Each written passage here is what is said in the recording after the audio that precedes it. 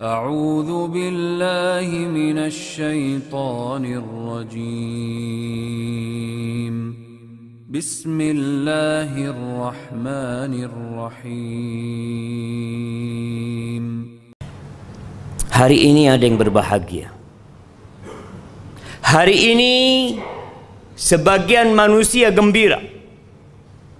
Mungkin karena harta yang dia dapatkan, rumah yang dia beli, keuntungan yang dia raih, mungkin jabatan, mungkin kekuasaan yang dibagi-bagi, kemudian dia mendapatkan sebagiannya. Dia gembira.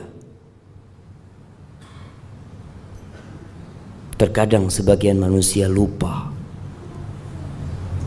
kalau kegembiraan itu akan berakhir. Di surat Al-Kahf yang kita dianjurkan untuk membacanya setiap Jumat. Sebagian hanya membaca huruf-hurufnya. Tapi ada sebagian yang nggak pernah baca. Hanya koran yang dia baca. Hanya berita yang dia ikuti. Sehingga sebagian orang berjalan di muka bumi ini terseok-seok. Tidak tahu arah hendak ke mana. Di ayat 45 Allah Azza wa Jal mengatakan wadrib lahum wadrib lahum mathalal hayati dunya berikan perumpamaan buat mereka buat manusia-manusia yang terlena dengan jabatan mereka yang terlena dengan kedudukan mereka yang terlena dengan harta mereka dengan dunia ini. Allah katakan wadrib lahum. Dahulu diberikan kepada orang-orang musyrikin yang ada di Mekah. Dan ayat ini untuk seluruh umat manusia. Kasih perumpamaan buat mereka. Masalul hayati dunia. Permisalan kehidupan dunia ini. Seperti apa sih hidup di dunia ini jemaah? Kata Allah kama seperti air yang hari-hari ini kita menanti turunnya air. Kita menanti hujan itu turun. Kama in anzalnahu minas sama. Seperti air kata Allah yang kami turunkan dari langit. Fakhtalata bihi nabatul ard. Lalu air itu bercampur dengan biji-bijian yang ada di bumi, tumbuh-tumbuhan yang ada. Kita melihat beberapa daerah sekarang kering, menguning, sebagian pun mati. Tapi tatkala turun air hujan, kita melihat semuanya jadi hijau. Sampai kapan dia menjadi hijau? Allah mengatakan fa asbaha hashiman tadruhu riyah wa kana Allahu ala kulli syai'in muqtadira. Tuh yang kita lihat hijau yang begitu mengesankan, yang begitu memukau, yang membuat hati jadi gembira. Tahu-tahu pergi jemaah. Jadi kuning kembali. Di bawah oleh angin, di bawah terbang ke sana kemari, ditinggalkan oleh manusia. Hadhihi hiyal hayatud dunya. Engkau tidak akan tersenyum dalam waktu yang lama. Engkau tidak akan menikmatin rumahmu dalam waktu yang cukup panjang. Jabatan yang kau dapatkan juga engkau tidak akan selama-lamanya di sana. Sebentar lagi kau turun. Pasti, pasti. Ini kehidupan dunia jemaah. Yang kemarin jadi bos. Yang jadi atasan. Bisa jadi sekarang sudah dirumahkan. Yang kemarin memiliki kekuasaan bisa jadi hari ini di penjara. Esok di kuburan. Lalu kenapa? Manusia berlomba-lomba untuk meraih sesuatu yang dia yakin dia akan tinggalkan. Di ayat selanjutnya Allah mengatakan al-mal. Al-malu wal banun zinatul hayatid dunya. Itulah kehidupan dunia.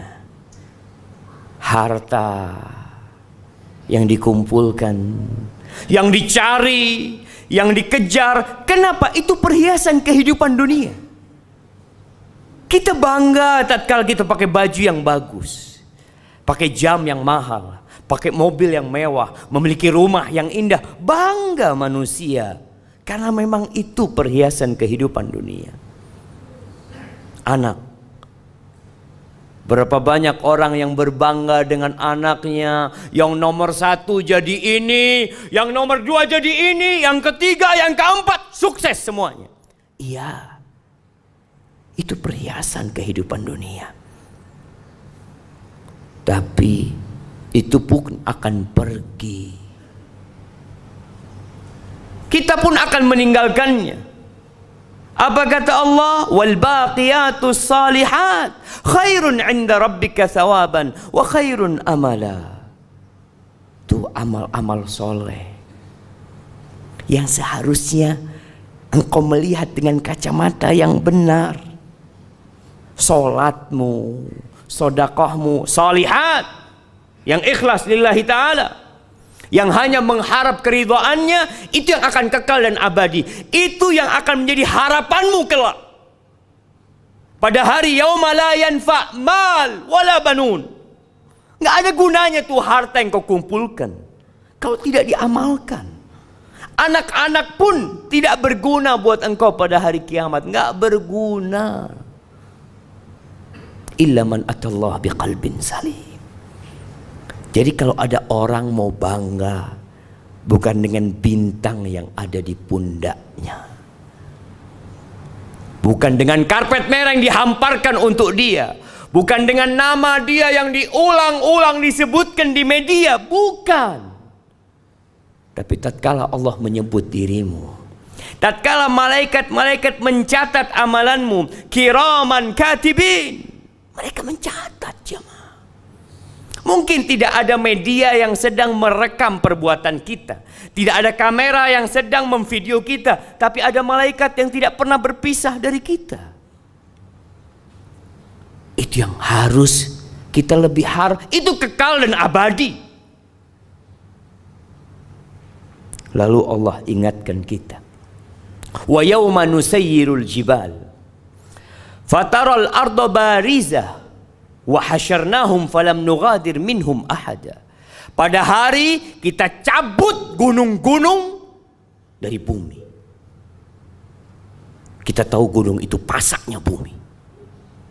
Kita tahu ada akar yang menghujam masuk ke bumi. Akan dicabut oleh Allah, diterbangkan, dijalankan tuh. Sehingga bumi ini jadi rata. Jemaah. Lalu kata Allah, wahasyarnahum kami kumpulkan semuanya. Dari sejak makhluk pertama sampai manusia terakhir wahasyarnahum falam nugadir minhum ahada. Tidak ada satu pun manusia yang ditinggalkan. Wa uridu ala rabbika saffa. Laqad ji'tumuna kama khalaqnakum awwala marrah. Mereka akan digiring, dibangkitkan dari kuburnya tanpa membawa apa-apa. Jangan jabatan yang kau miliki, jangan kekuasaan yang kau raih, jangan harta yang engkau capek lelah mengumpulkannya.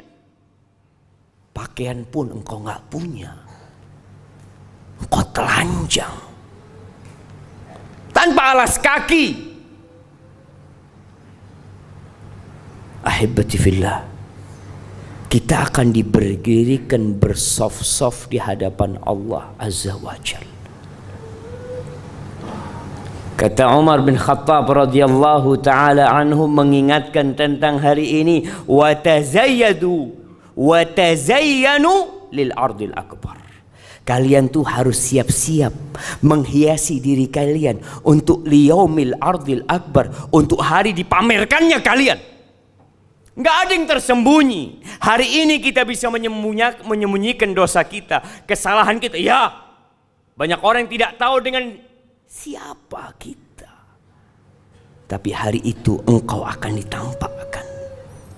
Kita melihat bagaimana tatkala ada acara bersama, kita berusaha memilih pakaian yang paling bagus, kita memakai parfum, ya nanti kita punya acara bersama jemaah. Di mana? Di padang mahsyar. Kita semua digiring ke sana.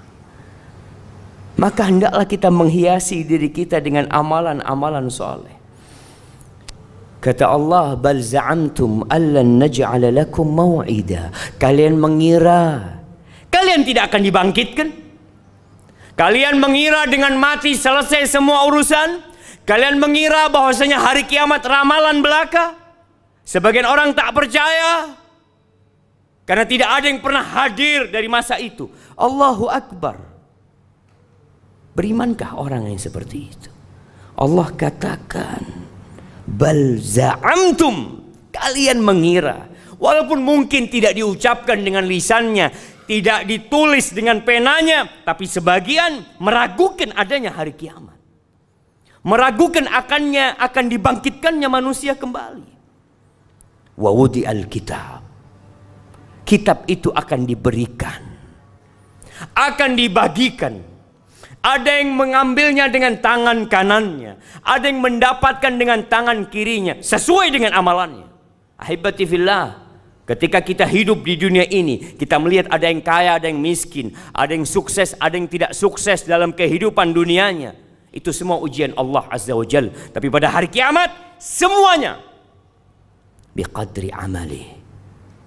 Sesuai dengan amalanmu. Bukan hartamu, bukan jabatanmu, bukan banyaknya pengikutmu. Biqadri amali. Allah akan bagikan itu kita. Fataral mujrimina musyfiqina mimma fi. Tuh para pelaku dosa akan ketakutan dengan kitab mereka. Tatkala mereka buka kitabnya, mereka mengatakan, "Ya wailatana, ma li hadzal kitab la yughadiru saghiratan wala kabiratan illa ahsaha." Mereka menyesal, berteriak, kok bisa nih buku ini tidak meninggalkan yang besar dan yang kecil, semuanya dicatat. Semuanya. ووجدوا ما عملوا حاضرا ولا يظلم ربك أحد semua akan mendapatkan hasil amalan dia ada di depannya tidak ada satupun yang akan dizalimi oleh Allah Azza wa Jal maka ahibati fillah lanjutkan kehidupanmu di dunia ini ish syi'ta silahkan kau mau hidup berapa lama tapi kau yakin kau bakal mati wa'mal ma beramallah semaumu. Fa innaka majziyun bihi. Engkau pasti akan mendapatkan balasan dari apa yang kau kerjakan. Lalu Ibnu Jauzi berdoa Allahumma in adzabtani wadan. Ya Allah kalau kau besok mengadab aku jangan kau kasih tahu orang-orang itu.